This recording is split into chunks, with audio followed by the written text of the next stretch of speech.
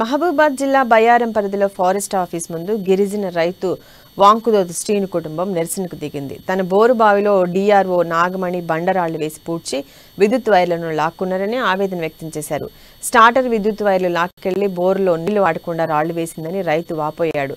అధికారులు స్పందించి తమకు న్యాయం చేయాలని పురుగుల మందు డబ్బాతో ఫారెస్ట్ ఆఫీస్ ముందు బాధిత రైతు కుటుంబం నిరసన వ్యక్తం చేశారు.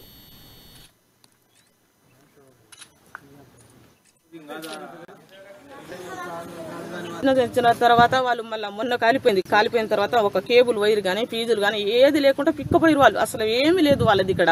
ఏమీ లేకుండా మేడం మరి ఎందుకు మళ్ళీ రేపటి రోజున మరి అడగలేదని అంటారేమో అనేసి మేమేం చెప్పినామంటే మేడం మేడం అది కాలిపోయిన మోటార్ ఉంది కదా మేము బాగు చేపించుకుంటాం మేడం. ఇద్దరం కొట్టుకుందాం నీళ్ళు అలాగే కొట్టుకుందాం అని చెప్తే అన్నది కదా మాకు ఎటువంటి సంబంధం లేదు. మేము మిషన్ భగీరవ నీళ్ళు వాడుకుంటాం. నాకు సంబంధం లేదు. నువ్వు తెచ్చుకో పెట్టుకో ఏదైనా చేసుకో అని అంటే పత్తి అమ్మేసి వడ్డీకి డబ్బులు తీసుకొచ్చి మొత్తం డెబ్బై ఎనభై ఏళ్ళు అయితే మేము మూట తెచ్చి పెట్టుకున్నాం మాకు తెలియకుండానే నాగమణి మేడం మమ్మల్ని రెండు మూడు సంవత్సరాల కానుండి ఇదే భయపెట్టడం మిమ్మల్ని ఇది అది అనుకుంటా తిట్టుకుంటా కొట్టడానికి వచ్చుకుంటా మమ్మల్ని తెలియకుండా బోరు పిక్కపోవడం డబ్బాలు పిక్కపోవడం పారిశ్రమం టాపు టాపుని తెచ్చేసి మొత్తం బోరుని బుడిపెసిపోయింది. మరి ఈ దానికి మీరు న్యాయం చేస్తారా? లేకుంటే మేము మందు